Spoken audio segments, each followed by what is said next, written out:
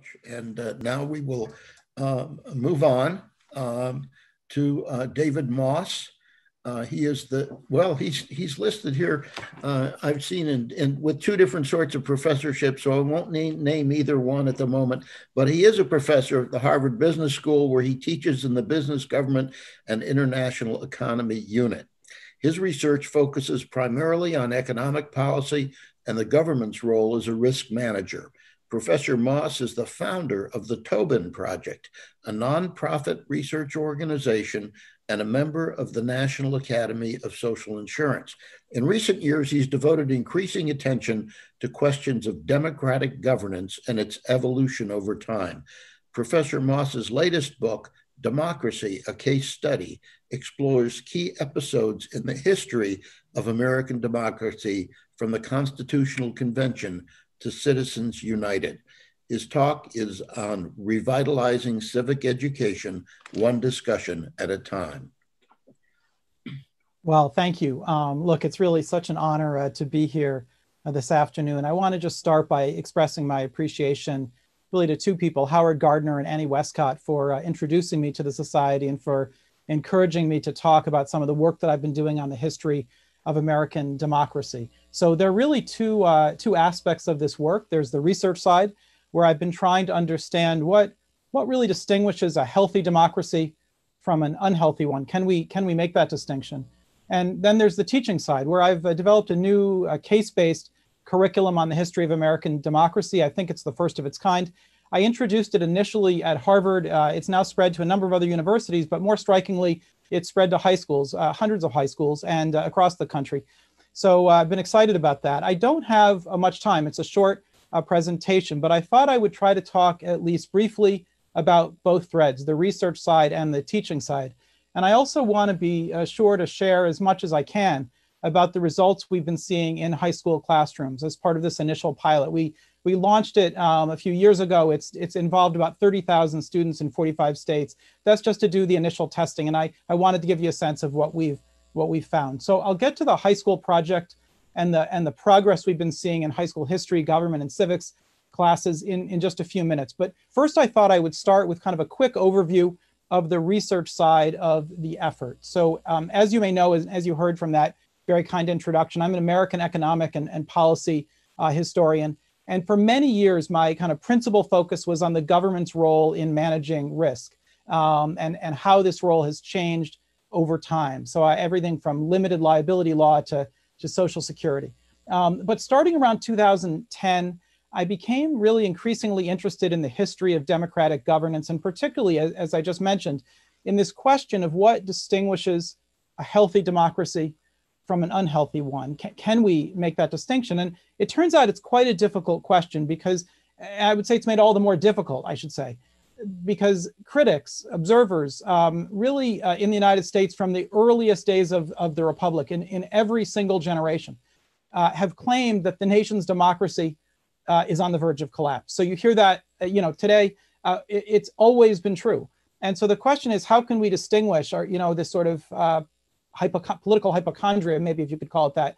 When, when is it right and when, when is it wrong? So in any case, I've struggled with this question for, for many years. And I, I can't say that I have a, a perfect or complete answer, but I do think I have the beginnings of an answer and I want to share that with you. So there are really two pieces of the answer that I want to uh, provide. The first piece has to do with political conflict. And it might be a little different from what you're expecting because one of the things I've noticed again and again across American history is that some of the greatest moments of progress, and I, I focus mainly on economic history, so, um, so I would say particularly economic progress, um, ha have been associated with actually very high levels of partisan conflict. So high conflict, not, not low. And, and, and in a sense, that's just the opposite of what many pundits are telling us today, that too much partisan conflict is kind of ripping the country apart. I actually don't think that's quite the right analysis. And, and so if you look back historically, I only have time to give you, you one example, but I, I do want to give you this, this one example. If you start with antebellum New York State, it's an interesting place to look. So New York at that time in the early 19th century was a place of intense partisanship and political division um, between Democrats and Whigs, but also, and maybe uh, often even more intensely, between different factions of the Democratic Party. And if you go back to the newspapers of the day, you will see how intense, sometimes even how vicious this political conflict was. And yet, New York performed brilliantly, at least in economic terms and policy terms. It proved enormously innovative uh, over the first half of the 19th century. New York State, for example, invented general incorporation with limited liability, the first jurisdiction to do that. It invented modern bank regulation, including bank insurance back in 1829, the first jurisdiction in the world, uh, I believe, to do that. It, it had arguably the most advanced infrastructure policy in the country, the Erie Canal and so forth. It followed Massachusetts. It wasn't first, but it followed Massachusetts in moving toward free public education and building human capital. And overall, by you know, by the 1850s, New York State was almost certainly the leading economic jurisdiction uh, in, the, in the United States. And, and, and many have argued that it was the leading economic jurisdiction by the 1850s in the world. Now, as I read the historical record, intense political conflict in New York State, it wasn't an obstacle to innovation and growth. It was, in fact, a source of strength. It was a catalyst for new ideas. So, just in the same way, when you think about innovation in the economic marketplace, it's driven by competition, by conflict. So you see that in the economic marketplace. In the political marketplace, I think we see much the same thing that new ideas, innovation is driven by conflict, tension, uh, uh, including partisan conflict in the political marketplace. So that's one thing that I learned. But then there's another very important piece. What I also learned from studying this period in antebellum New York and many other periods, but let me just stick on New York for a minute. New York enjoyed in this early 19th century an extraordinarily strong culture of democracy, if I if I can call it that, and, and that culture, that strong strong culture of democracy, really cut across the political spectrum. New Yorkers during this antebellum period shared really a deep commitment to democratic process. You can see it in many many different guises, a deep faith in kind of self governance and the, the democracy itself, and and just as an example, this was visible in just about every major policy debate of the time. So if you just look at any debate that we can uh, look at from the early 19th century in New York State, what you'll see is lots of partisan conflict, but also this kind of shared commitment to democracy that is uh, just evident, extremely evident in, in the discussions. So I wish I had more time to describe this, but I can hardly overstate how important it is. This culture of democracy, this commitment to democratic process, institutions, values, this is the glue, I think, that held everything and everyone together. So at, at root, it's, it's this strong culture of democracy, I'm suggesting, that ensured that even high levels of political conflict proved productive rather than destructive. And, and again, you can see this dynamic not just in antebellum New York, you can see it in case after case across American history. A healthy democracy, I think, requires both plenty of political conflict to generate ideas, that's on the one hand, and a strong culture of democracy, a shared commitment to democratic process, institutions, and values on the other. And based on the history as I read it, this it's this combination that's absolutely essential, vital to ensuring productive conflict and a healthy democracy. And its absence, by the way, especially if you see a weakened culture of democracy, which I'm going to come back to because that's quite relevant to today. In its absence, I think you can see that conflict, that political conflict, can suddenly flip from being constructive to being destructive. So I could give you many other examples beyond New York State. I don't have time. So in the interest of time, what I want to do is shift gears and now talk about this case-based curriculum that I created on the history of American democracy, the impact that it seems to be having, and then bring it back, tie it back to this culture of democracy question that I was just, uh, just addressing. So I'll say from the beginning of this work that I started out on the history of American democracy, uh, which again was late 2010 is when I started turning my attention to that. I, I decided that creating a case-based course should be a core part of, of this new work uh, uh, on the history of American democracy. And part of the reason for that is several years before that, starting around 2006, I had created a case-based course on financial history for the MBA program at Harvard Business School. And I learned a tremendous amount. I learned not only from developing the 20 plus cases, that was an immense learning experience, um, covering kind of global uh, key moments in, in, global financial history, including a lot of financial crises. Um, but I also discovered how powerful and how effective it was to teach history by the case method. Um, I'm going to talk more about that in a minute, but I'll just say, starting in, you know, when I, I, I, started creating that course in 2006, I launched it in 2008, as it happens, just as the fin financial crisis was hitting. And I just never seen anything like this in the classroom. Uh, and at first I thought maybe it's because of the financial crisis. I still teach that course now. I still have the same kind of energy uh, in the classroom. Again, I've just not seen anything like it in, in teaching history. And so I've been quite devoted to this. And so when I started to think about creating a new course on the history of American democracy, uh, I, I, have to say I was determined to try to use the case method. But that meant writing a lot of cases, uh, which is a big effort. So I had the opportunity to work with some just stellar, stellar co-authors. It took about two years to develop the initial set of cases. We, of course, have been working ever since, expanding them and, and, and refining them. But I finally started teaching the course itself, both to undergraduates and MBA students uh, in the fall of in the fall of 2013. And it turned out, I will tell you, to be incredibly exciting. The first year was the smallest. There were only about 40 students, um, equally divided between undergraduates and MBA students. But by the next year, the course was massively oversubscribed. I, I only had 100 seats that I could offer, um, and we had a, you know a, a demand many many times over. I used a business school classroom, uh, which is sort of designed for the case method. It seated 100. I allowed in 80 undergraduates and 20 MBA students. I think it may have been the first time that we did that kind of mixing. I'm, I'm not sure. But what I can tell you is that the students, both undergraduates and MBA students, were just extraordinarily engaged. Uh, like in a typical business school class, every class session revolved around a case study that focused on a key episode, except instead of it being on a key episode in business management, it was a key episode in the history of American democracy. And each case ended, as in the business cases, with a major decision facing a historical figure or group, but again, without revealing the outcome. So in a sense, we put the, the students into the shoes of decision makers without revealing what decision was actually made. Each case also provided a tremendous amount of historical context. In fact, the vast majority of every case is context, background, and then the last page or two is about this uh, final decision. Anyway, I hope that the context itself was of value, but again, it also provides students with kind of the necessary historical foundation to think through the decision in question.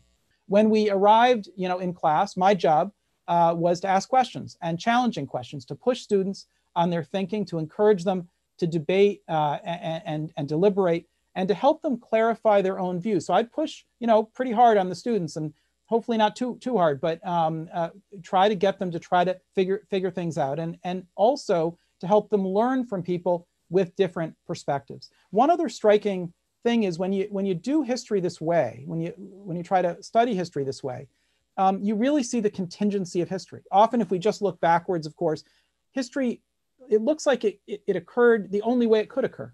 But when you actually get into the shoes of, of, of, of actual people at the time, of people who are making decisions, like all of us make decisions, you see how uncertain it is going forward when you're looking going forward. And, and so the contingency of history really becomes clear. I must say, initially, I wasn't sure what to expect from the undergrads because I was told that they probably wouldn't do the reading, that they wouldn't participate. Um, they'd never used the case method before. I have to say, I was just astounded because none of that was true. They, they, they were extraordinary. And I was just struck by how well they prepared the cases, uh, how actively they participated in class. At any given moment, there were literally dozens of hands. It was almost too many hands uh, to keep track of. And this was happening day after day, case after case. And I could see the students literally in front of my eyes. I could see them building their critical thinking skills. As I was pushing back on them, other students were pushing back and they were having to defend, refine, self-criticize uh, uh, their their own their own thinking. So when it time when it came time for for course evaluations, students reported not only that the case method was a more engaging and more effective way of studying history than they'd experienced before. That was nearly universal across the students. But they also reported, really to my great surprise, that working through the cases strengthened their level of civic interest, their level of civic knowledge, the civic engagement. And that civic engagement piece I, I, caught me by surprise. They said that they were more involved in civic organizations in political campaigns and so on. So this was and they and they and they attributed it to being excited about being involved in these case discussions. So that was really astonishing to me and encouraging. And in addition i should add that a number of the undergraduates so this is back in 2014 2015 a number of the undergraduates ended up recommending the cases and the case method to their former high school teachers. And so that's how we started. That's how we started getting into high schools. And in fact, this whole uh, effort began with two high school teachers, one in Pennsylvania and one in Indiana, who had heard about the cases and the case method from their former students who, who, who went on to Harvard. And, and they asked, they, they, you know, they wrote to me and they asked if they could give this a try. So I sent them the cases along with uh, my teaching plans. And it turns out that they both had um, great, great experience experiences. One was a history teacher, one was taught government class. That ended, that was the spring of 2015. And in the fall of that year, we decided to launch kind of a small pilot project. We recruited about 20 teachers, uh, mostly from the Northeast, but some from other parts of the country. Um, and we brought them to Harvard Business School for a special workshop on our case-based curriculum. And that initial experiment proved so successful, in fact, wildly successful, that we decided, decided to expand it over the next several years, ultimately reaching uh, several hundred teachers as part of that initial pilot and approximately 30,000 uh, students uh, from across the country. And what, what we did and what we continue to do is introduce teachers to the case method and our democracy cases first at a training workshop, several days, originally held in person on the Harvard Business School campus and now held online for obvious reasons. And we provide ongoing coaching and support uh, individualized after that. We also make everything available, the professional development workshop, the ongoing coaching, the cases, the teaching plans, all the materials, entirely free of charge to the teachers. And, and that is something we've wanted to do, but it's also, I think, quite important because it helps ensure teacher independence. The teachers don't have to ask administrators uh, whether they can do this, whether they can get the funding. They make the decision whether they want to do it, whether they want to drop it, um, it's it's really completely uh, up to them. And that sovereignty, I think, has led to better results. We've also seen remarkably high adoption and retention rates. So we've been we've been happy about that. As I mentioned at the outset, we've been we've been thrilled with the results. So much that we're now working to scale the effort, aiming to reach thousands of teachers rather than hundreds, and hundreds of thousands or more students uh, rather than uh, just thousands over the next a few years. And already as part of the pilot, I should tell you, we've been working now with every type of school from every uh, uh, part of the country urban, rural, suburban schools, public district schools, charter schools, private schools, Title I, non Title I, the full spectrum from the most challenged school you can imagine to the most privileged and everything in between. And in fact, our sample now very, very closely reflects the nation as a whole, whether you're thinking about uh, uh demographics or, uh, or geography or type of school. And across the board, across the board, we have seen truly remarkable results. I don't have time to go into all the details uh, here, but let me just give you a, a, quick, a quick sense of this. Teachers, we, we've, we've uh, surveyed and interviewed teachers uh, who've, who've done this, and they overwhelmingly, overwhelmingly report that use of the cases and the case method strengthen their, their students' critical thinking skills. That's probably first and foremost, and strengthen their ability to make evidence-based arguments. Also strengthen their ability to vocalize their opinions, to draw connections across readings. Use of the cases also improves students' motivation, their level of effort, and their interest in the material. At the same time, teachers report, again, by just overwhelming margins, that using the cases dramatically, dramatically increase their own job satisfaction, their sense of professional growth, their excitement about teaching, and their confidence in the classroom. We also interviewed and surveyed students, and students, meanwhile, report that use of the cases and the case methods strengthen their experience in the class across numerous dimensions their level of confidence, their ability to think historically, their ability to make an argument with evidence, their ability to look at issues from another person's point of view. They also report that using the cases strengthened the overall value of the course in which those cases were being used. And in nearly every instance, the, these impacts that I'm talking about, these effects increased with dosage. So classes that used more cases uh, saw larger impacts. In addition, as compared to students in comparable courses who didn't use cases, so we had a comparison group and uh, uh, sort of identical uh, courses but didn't use the cases. Those who did use cases reported greater interest in history, greater understanding of major political issues facing the US, greater confidence in their ability to make an argument using evidence, and so on. They also reported greater interest in civic involvement in the future, such as running for office, and significantly, uh, a larger number of students who used cases as compared to the comparison group who didn't reported a score of 10 out of 10 on the on the question from the World Values Survey of how important is it to live in a country that's governed democratically. That number has been quite low among uh, those in the younger generation. Once people started using some of these cases, their, their numbers went up. Uh, the comparison group uh, really didn't. As for test scores, we don't yet have much data on how use of the cases affects student performance uh, on, on standardized tests. That said, a number of teachers have run what are essentially controlled experiments in their schools. That is, they had multiple sections of the same course, for example, and would use cases in some of the sections, but not others, or in some classrooms and not others. And, uh, and, and what they found is that students who used the cases performed significantly stronger on tests. In fact, dramatically stronger on essays, and often, but not in every case, stronger on multiple choice and short answer questions as well. I, I could go on and on about this, as you can probably tell. But the bottom line is that this new case-based approach to teaching American history in high schools seems, seems to be working. And it seems to be working quite well from both an educational and a democracy standpoint. And I'll say it's not just in classrooms.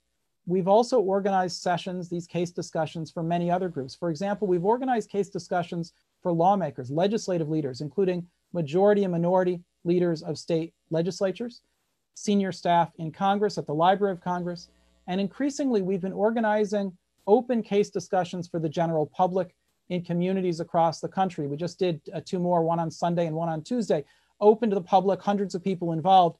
And this latter effort for the general public is in partnership with local chapters of the League of Women Voters.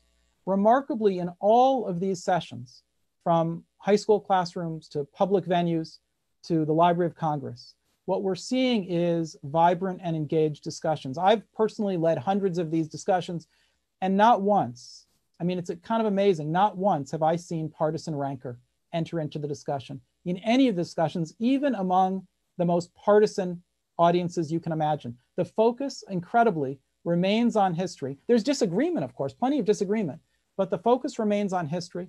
Um, and I've just been so pleased by that. And when the League of Women Voters has surveyed uh, uh, uh, members of the general public who attend the, those sessions, much like in high school classrooms, those who participate in these case discussions become, report becoming more interested in democracy, more interested in voting, even to some extent more interested in running for office themselves, and perhaps most striking of all, more interested in engaging with people they disagree with.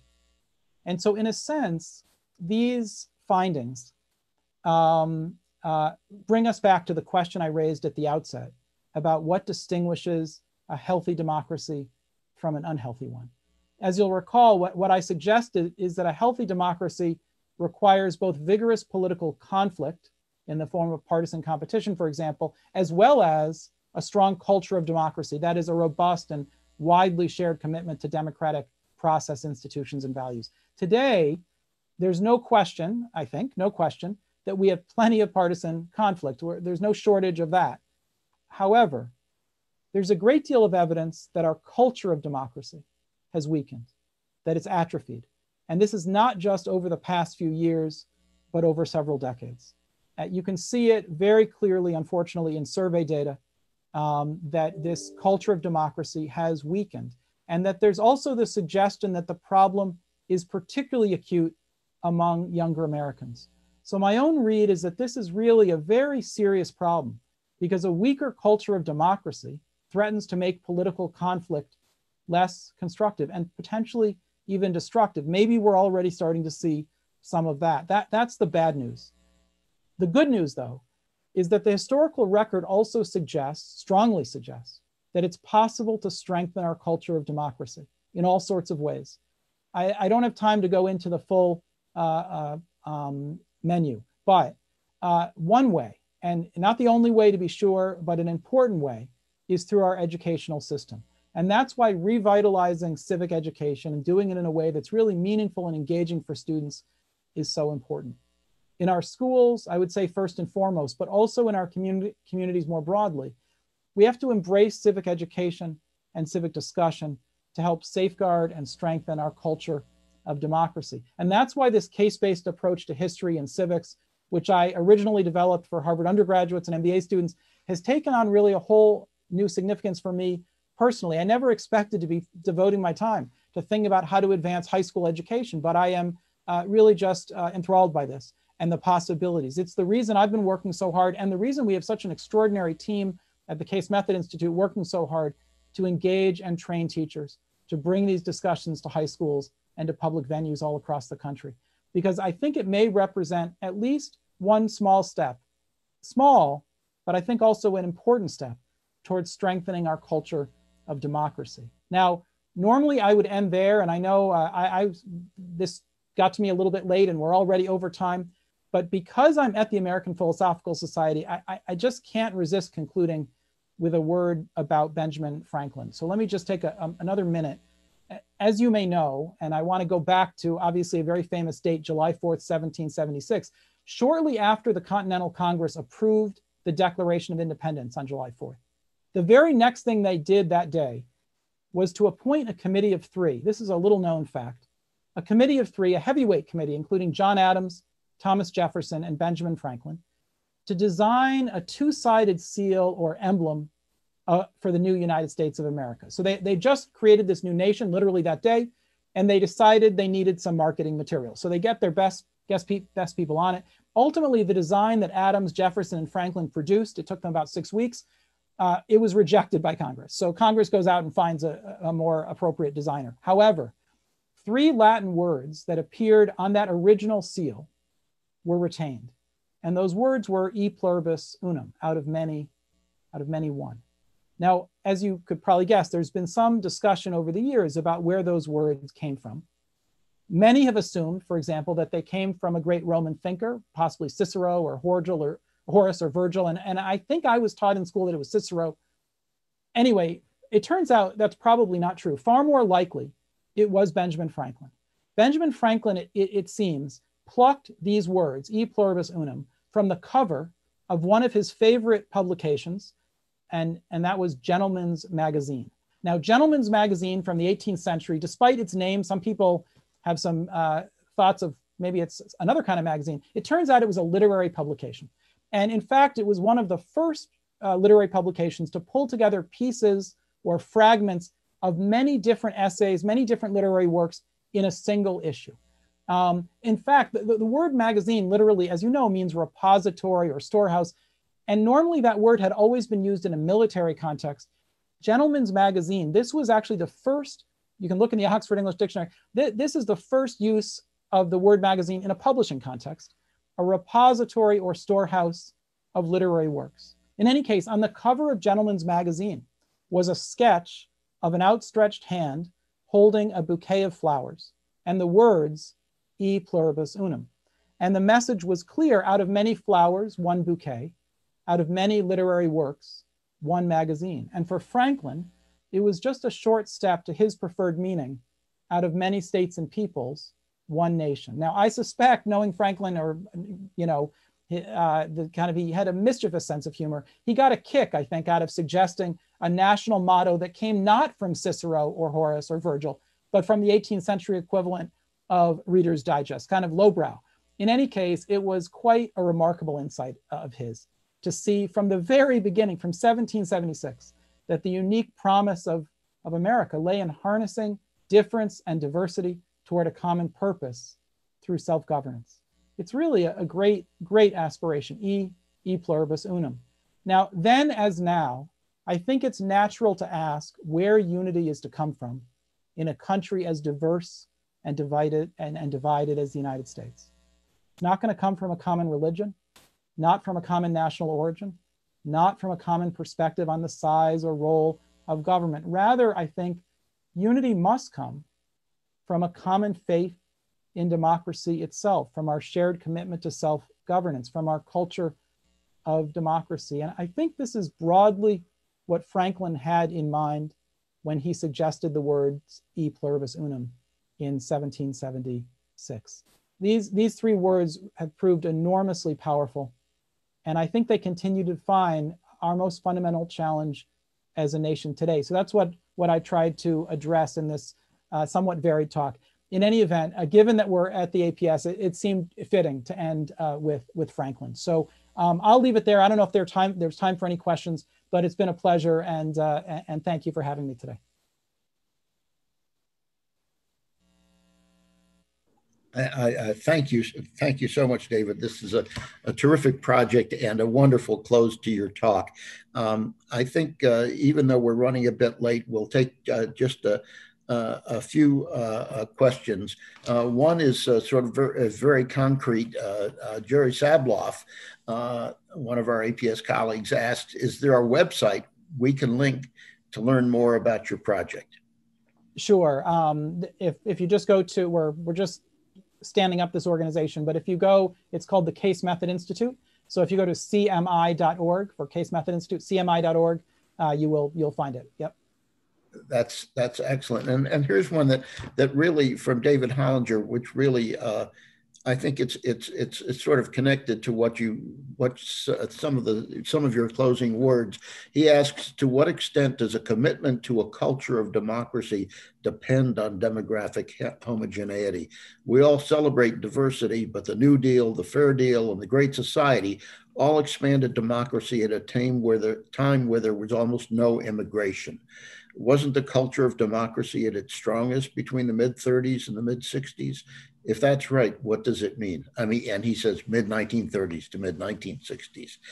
If that's right, what does it mean? So I, I, I, I, don't think that's right, and I and I hope it's not. Um, and certainly there have been many moments when there has been a, a large inflow of immigrants, um, and uh, and you've and you've seen efforts. Again, the, the early democracy that I was talking about in the antebellum years is a is sort of a quasi or proto democracy um, it's not a modern democracy in the sense of universal suffrage. But if you look, I, maybe here's just an interesting or maybe fact that I can drop in that will help answer this question. If you look in the early 19th century, um, when you saw the rise of the, the sort of the birth of public education, you know, one of the strongest arguments for why public education was needed was that you did have a large inflow of immigrants, some, many of whom didn't speak English, and and or, uh, or, or more importantly, even if they did, many did, they didn't have the kind of values of, of self-governance in the United States. And so there was this idea. Now, some of this was very associated, unfortunately, with kind of anti-Catholic bigotry. So we have to be careful about it.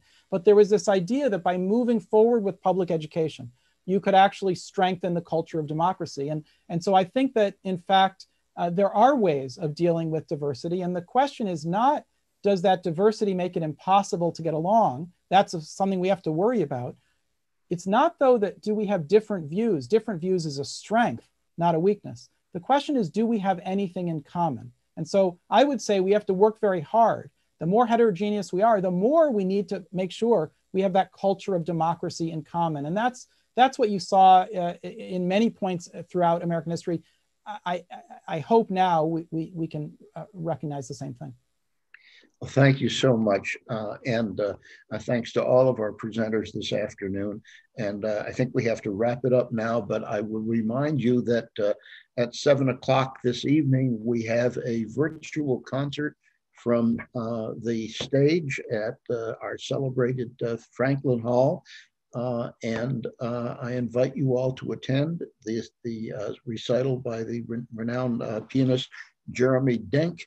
Uh, I'm sorry to report that I give the intro one part of the introduction. You'll have to see me again. But uh, aside from that, it should be a wonderful event. So thank you again so much.